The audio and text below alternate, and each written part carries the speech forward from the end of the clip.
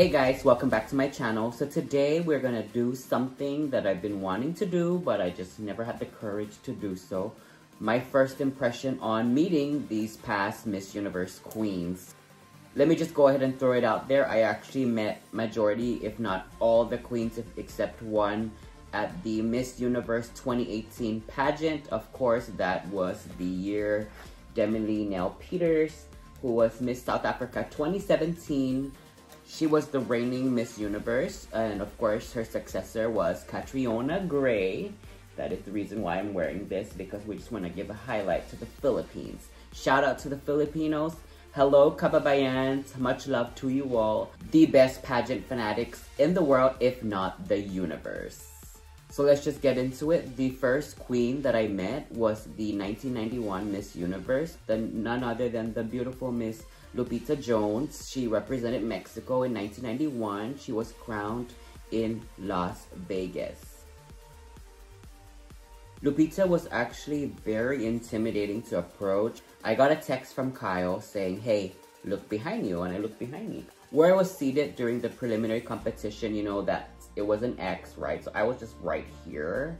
And like the national directors for all the countries were like behind me on the upper, upper level row. When I look back, the first person I saw was Carlos Fernandez. Um, I had met him prior by the way, Carlos Fernandez is the director for the Miss Universe organization, but I actually looked towards his right and I saw Denise Quinones. And I was like, oh my gosh, Miss Universe 2001. But then I looked to the opposite side of Carlos and I see this woman and I'm like trying to figure out like, who is she, right?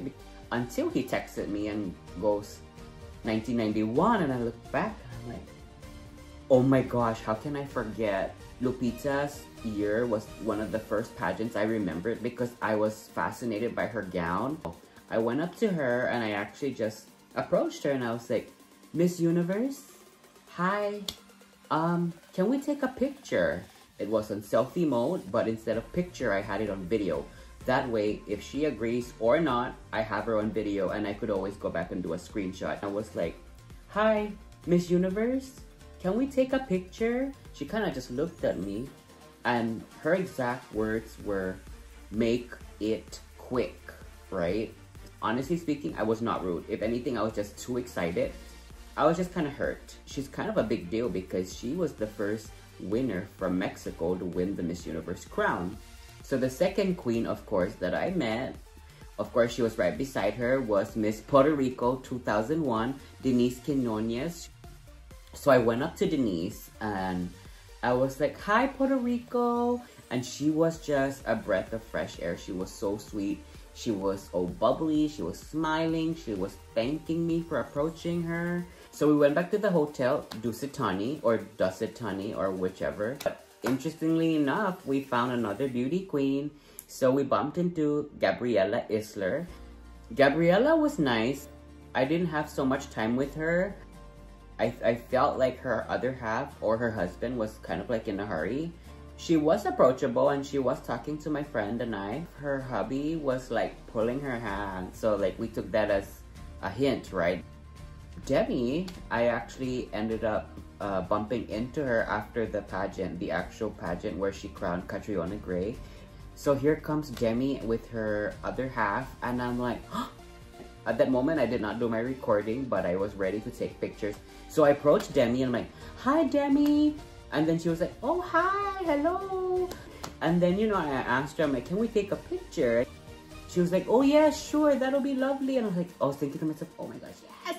But we went to the after party for the Miss Universe and um, I actually met the 1992 Miss Universe, Michelle McLean. Michelle represented Namibia. Of course, people knew more of her because she was one of the judges, right? And like people were approaching her, wanting to take pictures and stuff. So I, I actually approached her and I was like, hi Michelle. And you know, she's so sweet. She's like, hi. I was like, can we take a picture? She was like, of course. And I told her, I was like, I remember you're winning in 1992. And it's just so interesting to see that the reigning queen from your pageant who crowned you is here. And she goes, oh yes. We did take a couple of pictures with her. And yeah, I want to say that she was really nice. By the way, I was hoping to see Miss Universe 2005 Natalie Glebova from Canada. Of course, we saw her in the preliminary and the Miss Universe uh, coronation night, but you know, we didn't see each other face to face. I'm gonna go ahead and rewind it a few years back to Miss Universe 2016 when Iris won Miss Universe, of course, in the Philippines. We were there because Pia was the reigning queen. Of course, Miss France, I actually did not meet her. But a few moments after she was crowned, she was brought back to the hotel. I remember my friend Xavier like tapped me on my shoulder and goes, Ping, Ping, France, Miss Universe, Miss Universe. I'm like, where, where, where? That's the first time I've ever seen a queen like in front of my face. And of course, she was just crowned a few minutes ago. So I was like, where's the phone? Where's the phone? I'm like holding the phone the whole time. And, she, and Zay's like, take a picture of your phone. I'm like, I turned the camera onto like selfie mode. And by the time I went like this to take a picture, like she was already in the elevator. I snapped a couple of pictures. They were kind of blurry and my face was half cut, but it's fine because back then we were kind of thick. I just wanted to share that part. Another queen with the similar incident with Miss Universe 2016, of course, was Catriona Gray. Of course, she was crowned that morning and she did make an appearance at the after party. So actually, Catriona got on stage. She wasn't wearing her red iconic gown anymore and she wasn't wearing this piece um, when she when she was on stage. But she really carried herself as a true queen and of course she's been a queen since but yeah, it's interesting because I actually was recording the whole time. Like I said, I recorded, he's behind me and I'm we're just like doing a video. And then after that, I actually switched it off because when they were gonna do the toast, I was like, let me just face it to her. I did have some moments where she looks like she's looking straight at my camera. And of course, you already knew, if not, you had a feeling, the one queen that I was gonna share with you was meeting my idol, the queen of them all, Miss Pia Alonzo Wurtzbach. But yeah, I actually got a chance to meet Pia not once, but twice. Back in 2016, she crowned her successor, Maxine Medina. My, one of my friends jokingly said, I know you're gonna hunt down Pia. That's your girl. I'm like, I'm not gonna hunt down Pia. I hunted Pia down. Backstage was actually uh, barricaded with like those like row thing. You you best believe your boy like maneuvered his way in. Sis, I was in football mode. Excuse me, excuse me, excuse me, excuse me, excuse me.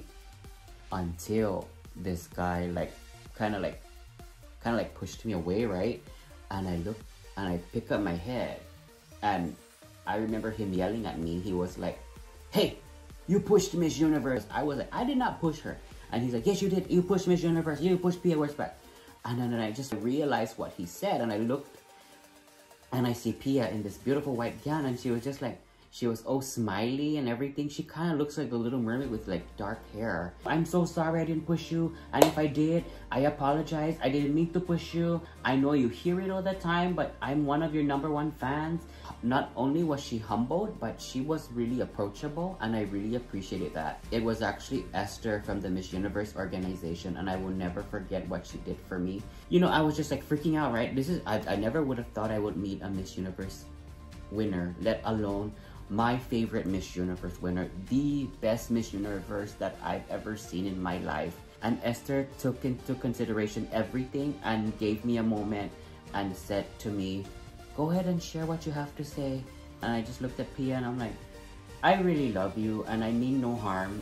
You have always been an inspiration to me and it'll mean so much to me just to take one photo just so I could brag not only that I was here in the Philippines to cheer you on but to actually share that I was I had a moment with you. I went on camera mode and I just took a couple of pictures. And in that one photo, the guard who was yelling at me was in the photo, which is which is fine.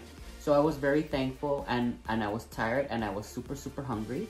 So I just turned to Pia and I just said, I love you, bye. So I ran away and it was just so funny. Uh, fast forward to 2018 back in Thailand, I did hear some rumors that Pia was gonna attend the pageant. I was about to enter the bar that everybody was saying to go to, right? It's like a gay bar or something. At that moment, I get a call. And Joe was like, hey, come back to the hotel. And I'm like, why? And he's like, Pia's room is on the same floor as mine. And I said, how do you know? And she, long story short, I end up going back. We approached the room. Danielle Castillo, or I'm not too sure. I know she's a famous uh, news anchor or reporter.